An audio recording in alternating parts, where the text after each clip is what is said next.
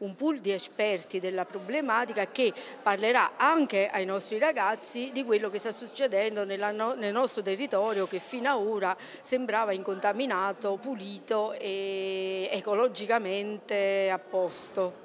Ecco, proprio mm, l'istituzione scuola, nello specifico il liceo De Capraris, eh, punta moltissimo a parlare eh, ai giovani, ai ragazzi, ai propri studenti, al di là del curriculum scolastico, anche di tematiche importanti del nostro territorio. Sì, ci teniamo tantissimo a formare dei cittadini che siano consapevoli e responsabili, perché il futuro della nostra società è loro, quindi il compito della scuola è di educarli anche al rispetto dell'ambiente, oltre che ovviamente ovviamente al rispetto delle regole. Sindaco, parlare di ambiente, di tutela, di territorio ai giovani è fondamentale. Sì, sicuramente è un'iniziativa importantissima fatta eh, tra l'altro in ricordo di un amministratore di Aripalda che è venuto meno qualche anno fa e che aveva una sensibilità ambientale anche prima diciamo, di molti altri, do, prima che si sia sviluppata anche in maniera eh, collettiva. Quindi in ricordo di questa persona che si è spesa anche per per, per, iniziative di, di, diciamo, di, salvaguardia e tutela dell'ambiente,